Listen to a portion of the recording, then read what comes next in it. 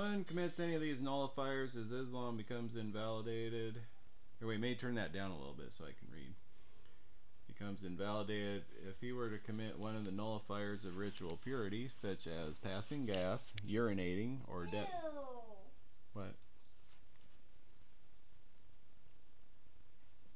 What's that? I was in there. How, what was it? Oh, a piece of the box. What do you think? You're gonna spill stuff. You're not even being careful. Stop.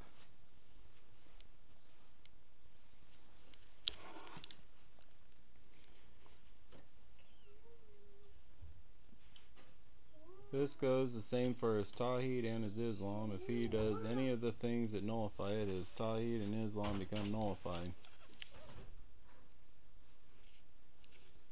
Whoever denies the obligation of prayer commits disbelief, and whoever denies the prohibition, don't don't let the cat out there. Close the door.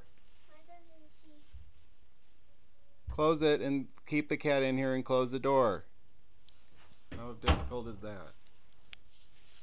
Why are you little keep staring at me? Same goes for his Tawheed and his Islam. Oh, let's get the kitty. Hey, everything's purple.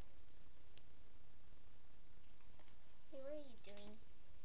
He does any of the things that nullify his Tawheed and his Islam become nullified. Whoever denies the obligation of prayer commits disbelief.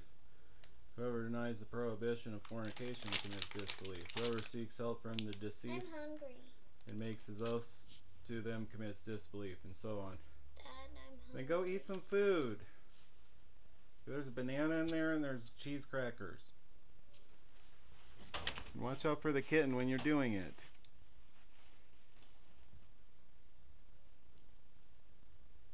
Things that religion has clarified is so that you should learn these rules and have mentioned in the book of Allah. If you study them and seriously reflect upon them, the matter will become clearer to you. The first rule. You must know that the disbelievers whom was the messenger of Allah fought against agreed that Allah was the creator and the administrator, but this belief did not cause them to enter into the fold of Islam. The proof for this is Allah's saying, Say, who provides you for the sky and the earth, or who owns the hearing and the sight, and who brings out the living from the dead and brings out the dead from the living? And who administers the affairs, they will surely say, Allah. Say, will you not be dutiful to him? Surah Yunus. First rule states that the polytheists whom the messenger of Allah and his companions fought against affirmed the oneness of Allah in his lordship, Tawheed or Rububiyyah. Let's get this kitty out of the way so she won't get an owie. That they won't get an owie. Tawheed or Rububiyyah. They acknowledge that Allah was their creator, sustainer, and administrator of their affairs. They did not doubt this. Today, some ignorant Muslims also think that this is this definition of Tawheed suffices. Due to this ignorance, since it would entail that the polytheists were more knowledgeable than them, so if one of them were to affirm the oneness of Allah in His lordship by saying Allah is my Lord, Creator, and Sustainer, this would not suffice, since the polytheists also affirm this, as Allah says. And if were, you were to ask them who created them, they would surely say Allah. Surah Az-Zukhruf 87. Yoni says,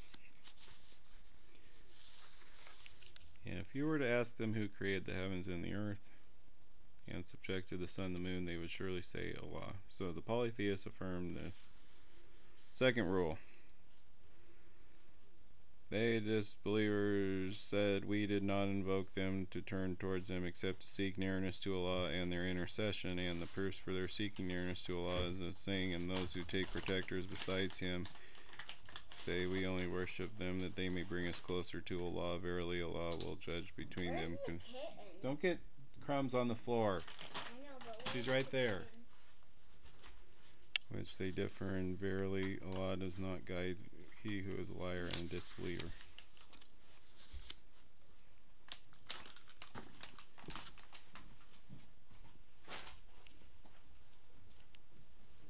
So that's the intercession using partners to get closer to Allah. That's like saying in the name of Jesus Christ. Mhm. They think that makes them get closer to God, but really it makes them get further because they're trying to give a partner to Allah.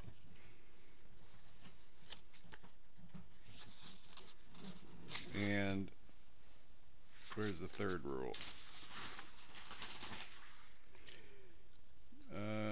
Prophet was sent to a people that differed from one another in worship among them. You better not get eating crumbs on my bed. Or just go back out to the table. Among them were those who worshipped angels, and among them were those who worshipped prophets and righteous people. Among them were those who worshipped trees and stones, and among them were those who worshipped the sun and the moon. However, the messenger of Allah fought against all of them, did not differentiate between any of them. Fight against them until there is no more fitna, i.e., shirk, and the religion is purely for Allah. Do not prostrate to the sun and the moon, but rather prostrate to Allah who created them. And the fourth rule, where's the fourth rule?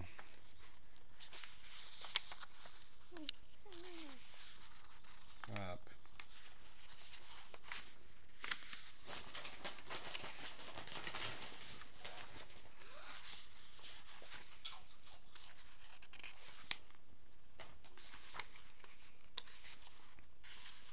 Find the fourth rule.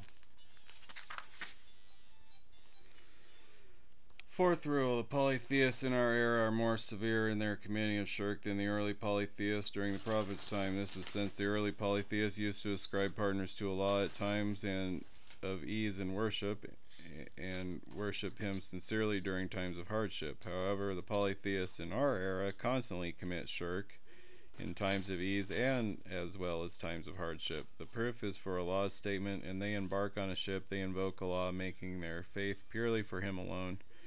But when He brings them safe to land, behold, they give a share of their worship to others. So the polytheists then, they used to drop the shirk when they were having a hard time, mm-hmm. and they would worship only Allah, but then once things got easy again, they went back to worshiping other things.